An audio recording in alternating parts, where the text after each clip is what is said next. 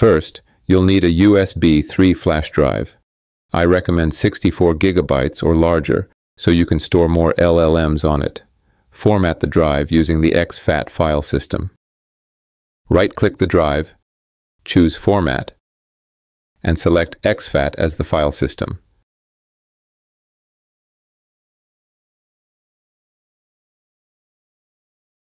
For faster loading, plug the flash drive into a USB 3.0 port. Next, go to the llamafile GitHub page. Link is in the description. Click the Releases link on the right. The newest release will show at the top. Scroll down to the Assets section and find the file that starts with llamafile, followed by the version number, like llamafile 0.93. Click it to download. After the file downloads, rename it to llamafile.exe and move it to your USB drive. After this is done, go to the Hugging Face website. Click on Models, then select GGUF in the left navigation bar under Libraries. Here you can search for models and sort them by categories. Pick a model you like, but keep it 14 billion parameters or smaller if it's a dense model, or 30 billion or smaller for MOE models. I'll search for the Qwen 3 8B model.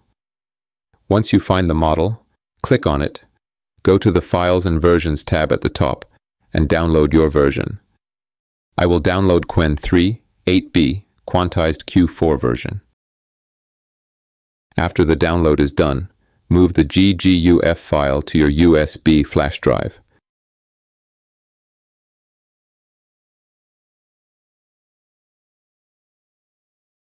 And the final step before running a local LLM from a USB flash drive is to create a simple .bat file to start it. Open Notepad or any text editor, type the following command, or copy and paste it from the description. Then, enter the full model file name exactly as it appears on your USB flash drive, including the .gguf extension. Save this file to the USB flash drive with a .bat extension and name it something that helps you identify the model, like run qwen3 8b dot bat. Then run the file.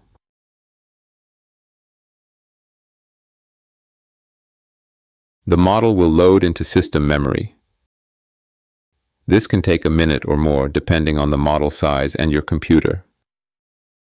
On my desktop with 128 gigabytes of DDR4 memory and Ryzen 7 5800X processor, it took 34 seconds to launch. Once the load is done, llamafile will open in your browser.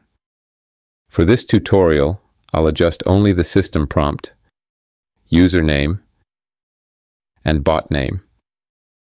I'll leave all other settings at their default values and start chatting by entering a question in the box at the bottom.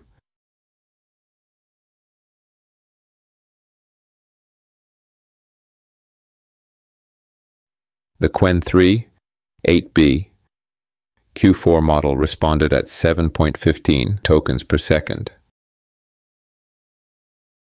Let's try another model. This time I'll use Qwen 3 30B A3B Q4. It's a MOE model with 30 billion parameters.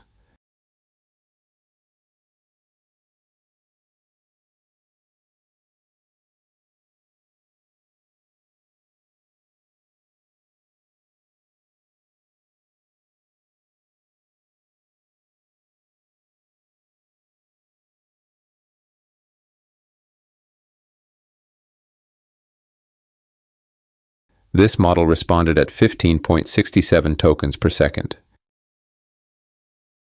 That's it, a fully portable setup for running local LLMs from a USB flash drive. No installation, no internet, and no admin access required. Just plug it into any Windows PC and start using it.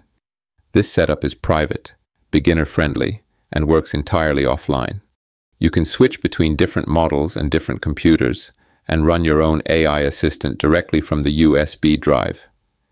Feel free to share your experience or tips in the comments. Thank you for watching.